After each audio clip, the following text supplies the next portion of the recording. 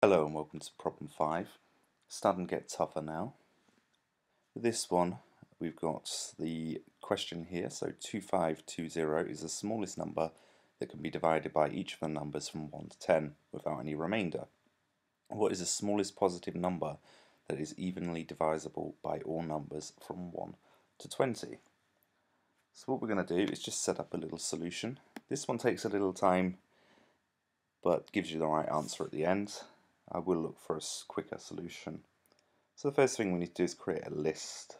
So let's do check list equals square brackets 11 13 14 16 17 18 19 and 20 close your square brackets. So we've got our array defined. Next we need to define find solution open brackets and put the word step in between and we'll do a for loop so for num in xrange open brackets step comma 999 999 999 comma step close brackets colon. We'll do an if test now. So if all num percentage symbol n equal to 0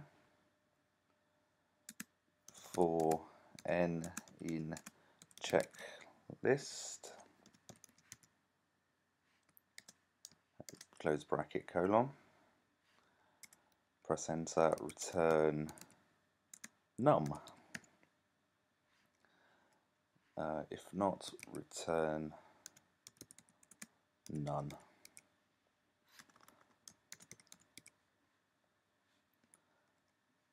Okay, so let's come down a couple of lines.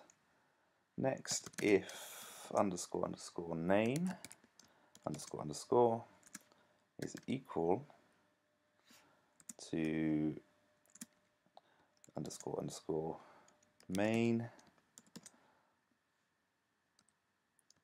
colon solution equals find underscore solution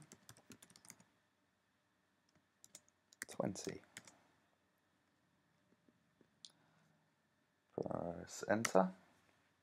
Then it's if solution is none, colon, print did not find an answer.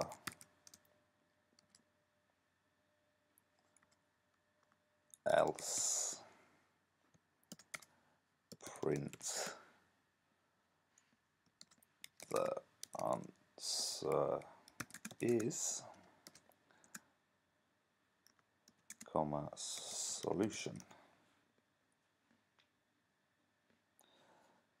What we need to do now is just give that a save and a run.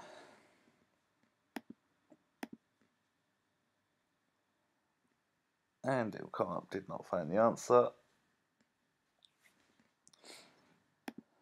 Okay, the reason that didn't work is the return was indented too far there, the return none, so give that another save and run.